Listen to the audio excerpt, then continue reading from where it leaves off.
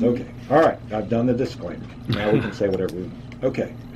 There are many things. Windows is the hot button. Right, right. Especially people's understanding and concern about the fact that if the gas has leaked out of the window and they have to replace it, do they need a permit?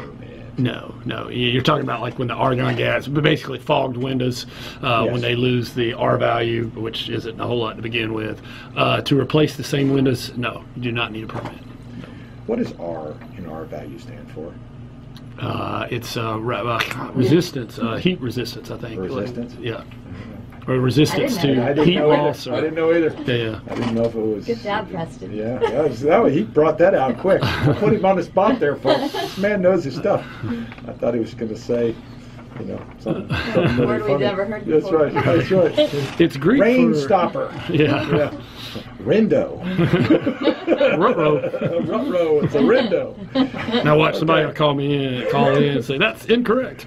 Yeah, yeah. Here we go. Phones are lighting up. Yeah, the window guys are calling. Okay, so what about if I want to replace my faucet or repair a busted plumbing line? Do I need to call somebody to permit it? Uh, if it's the same thing, no. Uh, in, in busted uh, lines, no. But if you alter it in any way, you you do. I'm And going to fix it. It was leaking. I want it to not leak.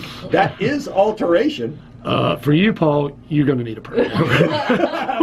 well, There's a Paul exemption here. I'm a little worried about you with a pipe wrench. going to do it to begin with. Obviously, Paul is gonna I'm just call kidding. somebody. I'm just kidding, guys. I'm just you know kidding. that black stuff they sell on TV that stops leaks.